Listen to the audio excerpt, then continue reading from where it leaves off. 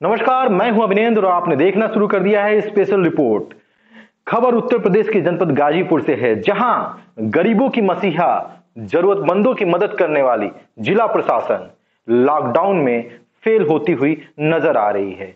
एक तरफ़ आजान के मुद्दे पर वो सख्त है तो दूसरी तरफ़ लॉकडाउन में वो फेल होती हुई नज़र आ रही है। वहीं दूसरी बात आपको बता दूँ कि जिला प्रशासन की एक तरफ़ तारीफ़ भी करनी होगी कि जिला प्रशासन ने गरीबों की और जरूरतमंदों की मदद की है। लेकिन कहीं ना कहीं जो जनपद में लॉकडाउन का उल्लंघन हो रहा है, उसको रोकने में नाकाम होती नज़र आ रही है।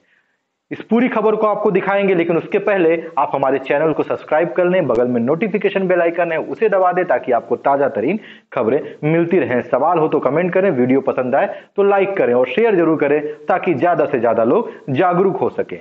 शुरुआत करते हैं खबर की। खबर है उत्तर प्रदेश के जनपद गाजीपुर से।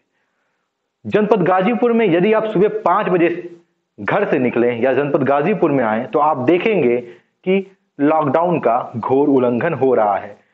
कई सारी ऐसी दुकानें खुली हुई हैं जिनको अनुमति नहीं है और वो दुकानें खोलकर जनता की भीड़ इकट्ठी कर रहे हैं, जहाँ पर लॉकडाउन का घोर उल्लंघन होता हुआ नज़र आ रहा है। ये सिलसिला दिन तक चला आ रहा है, यानी आप 9-10 बजे तक भी जाएँगे तो आपको ऐसी स्थितियाँ जनपद गाजीपुर के खास तौर से शहर में देखने को मिल जाएँगी।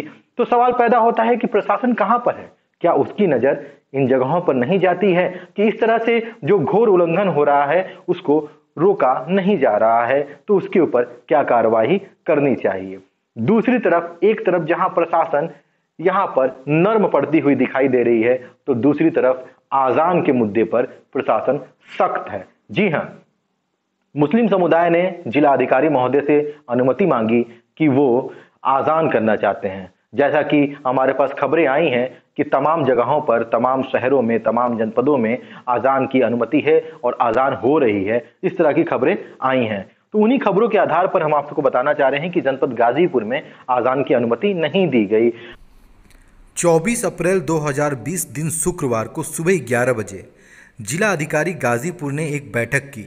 उस बैठक में जनपद गाजीपुर से जुड़े हुए धर्मगुरु सम्मिलित थे। ये धर्मगुरु मुस्लिम समुदाय से थे। बैठक में ये कहा गया कि आप सुबह और शाम आज़ान कर सकते हैं। आज़ान करने के लिए केवल एक ही व्यक्ति मस्जिद के अंदर जाएगा। इस बात की कंफर्मेशन करने के लिए हमने सूचना अधिकारी से भी बात की। हेलो। हेलो अरे पत्रकार अभिनंदन बोल रहे सर एबीटी न्यूज़ से। हाँ। ये करे सर वो रमज़ान वाला क्या खबर आई है? नहीं मस्जिद में एक लोग जाके अजान कर सकते हैं। आ, एक लोग जाके अजान कर सकते हैं केवल सुबह के टाइम पर? हाँ, सुबह और शाम। अच्छा केवल सुबह के टाइम पर कर सकते हैं ना? सुबह और शाम। अच्छा सुबह और शाम अच्छा सुबह और शाम दोनों कर सकते हैं एक लोग जाके। हाँ, चलिए सर। बैठक लेकिन उसी दिन शाम होते होते फैसला बदल गया और आदेश आया कि आज़ान नहीं होगा लेकिन यह आदेश लिखित रूप से नहीं था। अरे ये ये, ये अजान वाले में कुछ बदलाव है क्या नियम में? हाँ कैंसिल हो गया। है कैंसिल हो गया? हाँ। कब नहीं हुआ है। अच्छा अच्छा। कब हुआ है कैंसिल बैठक होने के बाद फिर कोई आदेश हुआ है तो मतलब कैंसिल कर दिया गया है। अच्छा अच्छा अच्छा अच्छा। तो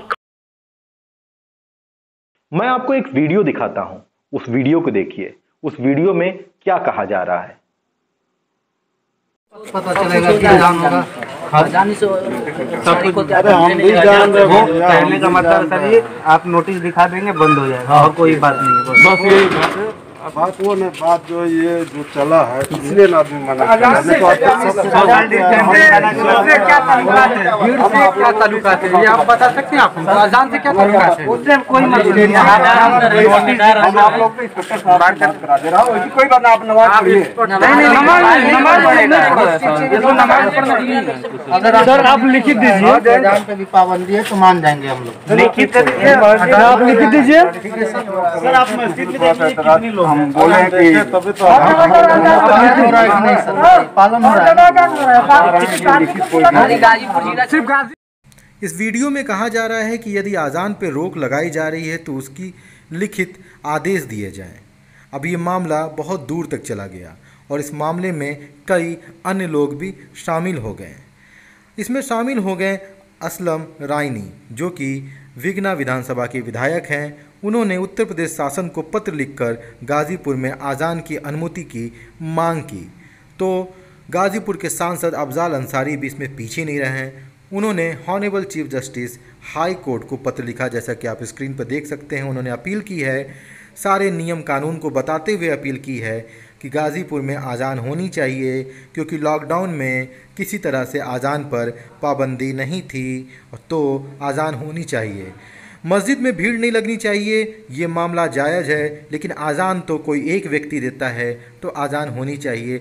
इस पूरे लेटर में पूरे अपील में कई सारे नियम कानून का ज़िक्र है और इसमें आज़ान की मांग की गई है। रेडी। सर आप अपना परिचय दे दें और गाजीपुर में अजान नहीं हो रहा है इस विषय में आपकी क्या राय है और क्या पहल की जा रही है आपकी तरफ़ से? मैं शबकतुल्ला अंसारी मोहम्मदाबाद का पूर्व विधायक हूँ। हमारे ज़िले में इस पवित्र महीने रमज़ान में अजान न देने का जो प्रतिबंध लगाया गया है, वो बहुत चिंताजनक है। पूरे उत्तर प्रदेश में कहीं भी अजान पर कोई प्रतिबंध नहीं है। अजान देना हमारी मजबूरी है, इसलिए कि सूर्यास्त और सूर्योदय का समय हर रोज़ बदल रहा है। जब तक अजान नहीं होगी, ये हमें पता नहीं चलेगा कि सूर्यास्त हो गया, रोज़ा खोल लें। ऐसे ही जब तक सुबह की अजान नहीं होगी, तब तक ये नहीं पता चलेगा कि शहरी का वक्त समाप्त हो गया है। इसलिए अजान देना मजबूरी है हमारी, लेकिन हमारे ज़िले के प्रशासनिक अधिकारियों ने पता नहीं किस दबाव में, किस बात को सोच के अजान बंद करा दी, मुझे समझ नहीं आ रहा है। सर, अजान को प्रारंभ कराने के लिए क्या आपके द्वारा और सांसद अफजाल अंसारी के द्वारा कुछ किया गया है? बहुत से लोग अजान के उ- इस बंद करने के फैसले पर पुनः विचार करने के लिए तमाम शीर्ष नेतृत्व से बात कर रहे हैं। उसमें अफजाल अंसारी साहब ने भी, गाजीपुर के सांसद के हैसियत से अपने पत्र तमाम भेजे हैं। और भी तमाम सामाजिक संस्थाओं के लोग, राज्यसभा, पूर्व राज्यसभा सांसद महमूद मदनी साहब और और भी कई सामाजिक संगठन के लोगों ने मुख्यमंत्री, प्रधानमंत्री और तमाम लोगों से ये अनुरोध किया है कि ये फैसला जो है, गैर जिम्मेदाराना है। इससे बहुत कठिनाई हो रही है मुस्लिम बंधुओं को रोज़ा रखने और रोज़ा खोलने में। फिर से इजाज़त दी जाए और अजान देने दिया जाए। मैं ज़िम्मेदारी से कह रहा हूँ कि अजान सुन के कोई भीड़ मस्जिद नहीं जाएगी। जैसे एक महीना नहीं गई है, ऐसे ही हम आगे भी बिल्कुल लॉकडाउन का पालन करेंगे, दो गज दूरी बना के हम सब रहेंगे और अपने क्षेत्र, ज़िला, प्रदेश और देश को इस महामारी से बचाने में पूरा सहयोग कर रहे हैं, करते रहेंगे, ये विश्वास दिलाते हैं। गाजीपुर जिला प्रशासन ने जरूरतमंदों की मदद की है। गाजीपुर जिला प्रशासन ने जगह जगह पर राशन पहुँचाए हैं क्योंकि इस लॉकडाउन में जो लोग गरीब थे, जो मजबूर थे, जो भूखे थे, उनको ज़रूरत थी, जहाँ पे प्रशासन पहुँची और उनकी मदद की। लेकिन कहीं ना कहीं आजान के मुद्दे पर प्रशासन कमज़ोर होती हुई नज़र आई और उन्होंने परमिशन नहीं दिया। कहीं ना कहीं लॉकडाउन के मुद्दे पर प्रशासन कमज़ोर होती हुई नज़र आई और उन्होंने परमिशन नहीं दिया। ये आश्चर्यजनक है कि जनपद गाजीपुर में सुबह के टाइम पर बिना अनुमति की बहुत सारी दुकानें खुली हैं।